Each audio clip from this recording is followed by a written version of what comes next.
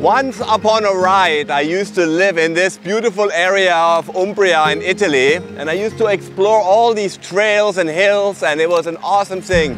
So let me take you on a journey through my old hood. Ciao Ina, come stai? Ci vediamo, ciao caro!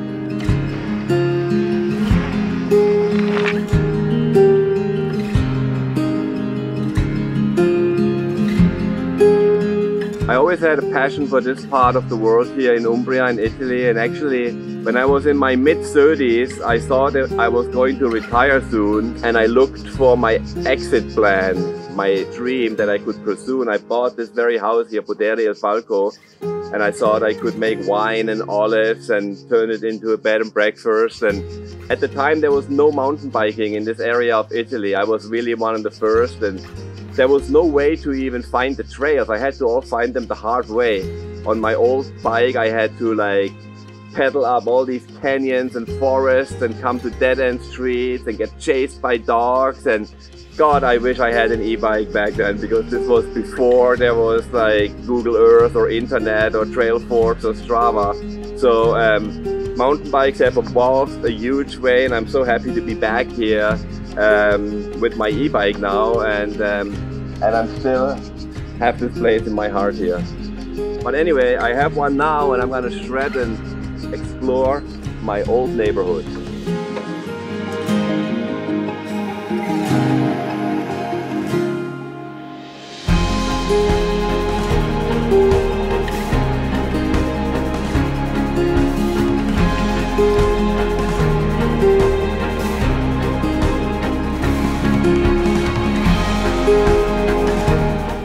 Alright, I just climbed up here in the early morning to Monte Cetona. This is one of my favorite places in the whole world. It's a very powerful place and people have lived here literally for hundreds of thousands of years.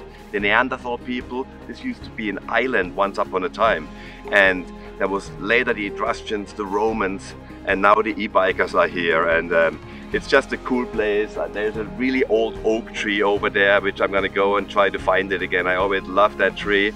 And if you look over there, uh, on the other side is actually Umbria, where I used to live, and I could always see that mountain from my house and vice versa. So let's explore some more.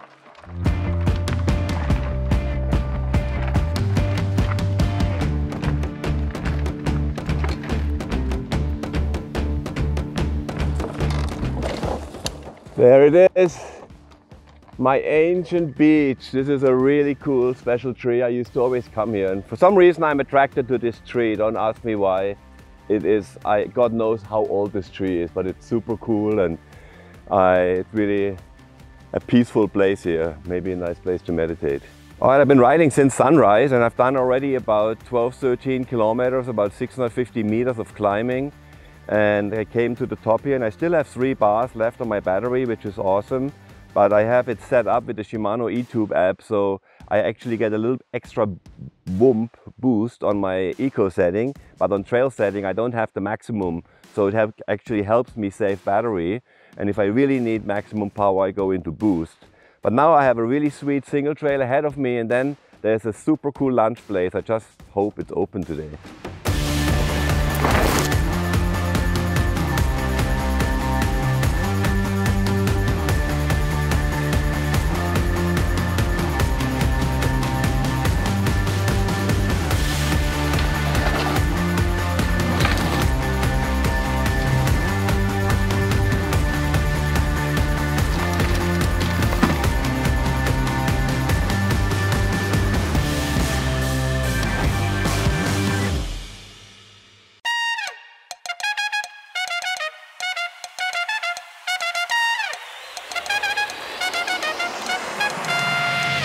Lasciare qui posto. Oh, bella. Grazie. There's a lot of food. Little Italian snack. Salami, prosciutto, torta, bruschetta, pecorino cheese.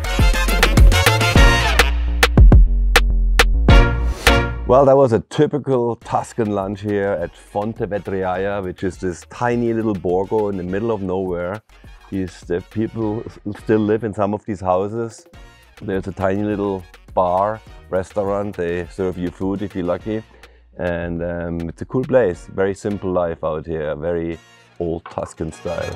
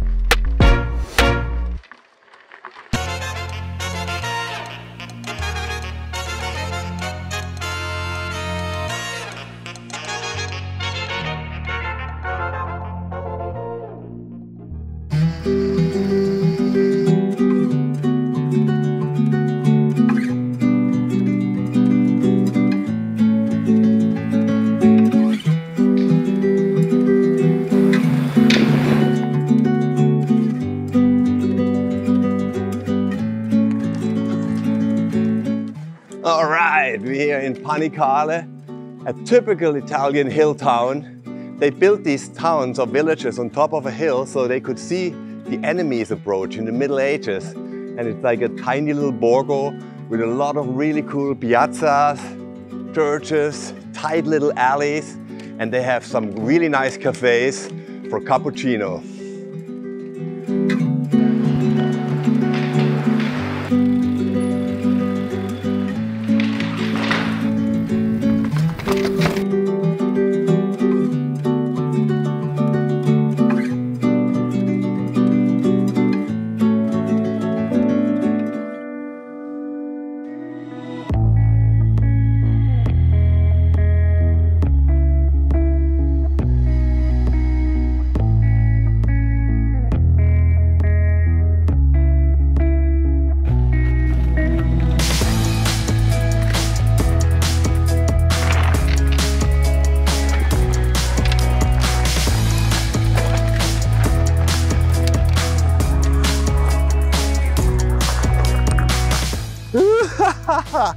I love these technical sections. On my regular bike, I could have never made that. And that's so cool about the e-bike and also how you can adjust it and fine tune it to your needs with the Shimano eTube app. For example, I have my start assist on very aggressive instead of very mild. And having it aggressive, even if you come to a standstill, you can still get started again and you can climb like a goat.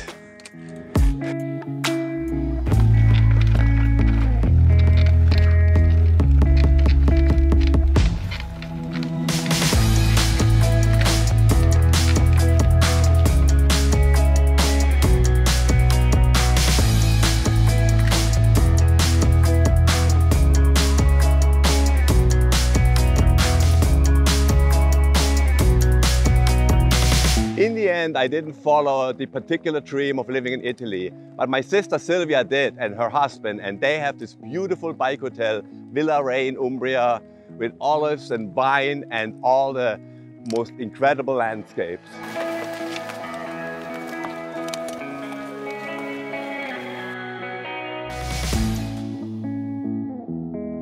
Ciao Silvia! Come stai?